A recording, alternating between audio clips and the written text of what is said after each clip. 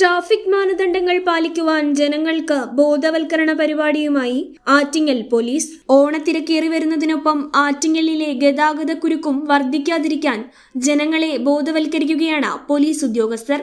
K S F ഇയുമായി സഹകരിച്ചാണ് ആറ്റിങ്ങലിന്റെ വിവിധ ഭാഗങ്ങളിൽ ബോധവൽക്കരണ അനൗൺസ്മെന്റുകൾ നടത്തുന്നത്. കോവിഡ് മഹാമാരിക്കെതിരെ നമുക്ക് ഒരുമിച്ച് പോരാടാം. ഭയം വേണ്ട ജാഗ്രത മതി. കേരള പോലീസ് കൂടെയുണ്ട്. കോവിഡ് വ്യാപനം തടയാൻ നമുക്ക് വിവേകത്തോടെ പ്രവർത്തിക്കാം.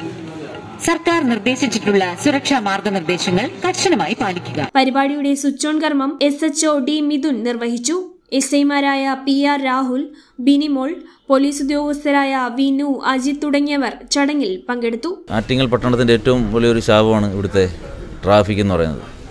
ഈ ഓണക്കാലത്ത് ട്രാഫിക് അപകടങ്ങളും മറ്റും കൂടി വരുന്ന ഈ സാഹചര്യത്തിൽ കോവിഡ് മാനദണ്ഡങ്ങൾ പാലിച്ചുകൊണ്ട് ആൾക്കാർ ട്രാഫിക് നിയമങ്ങൾ പാലിച്ചുകൊണ്ട് നടന്ന ഈ ഒരു ഓണക്കാലത്ത് നമ്മുടെ കെ എസ് വിയോട് കെ എസ് എഫ് ഇയുടെ സഹകരിച്ചുകൊണ്ടാണ് നമ്മളിങ്ങനെ ഒരു സംരംഭം ഈ ആറ്റിങ്ങൽ പട്ടണത്തിന്റെ വിവിധ മൂലകളിൽ എല്ലാവർക്കും ഒരു ബോധവൽക്കരണ സന്ദേശങ്ങളാണ്.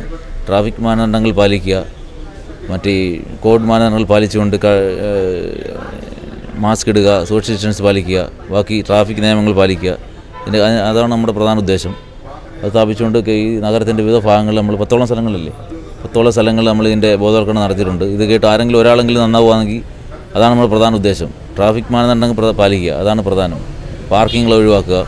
ബാക്കി ആവശ്യമില്ലാത്ത അല്ലാത്ത ഒബേ ട്രാഫിക് റൂൾസുള്ള ബോർഡുകൾ നമ്മൾ സ്ഥിരം വെക്കുന്നുണ്ട്. അതുപോലെ കോവിഡ് മാനദണ്ഡങ്ങളുടെ പാലിക്കുക എന്നുള്ളത്. എല്ലാ മലയാളികൾക്കും ആറ്റിങ്ങൽ പോലീസിന്റെ ഓണാശംസകൾ നേരുന്നു. H P news Attingal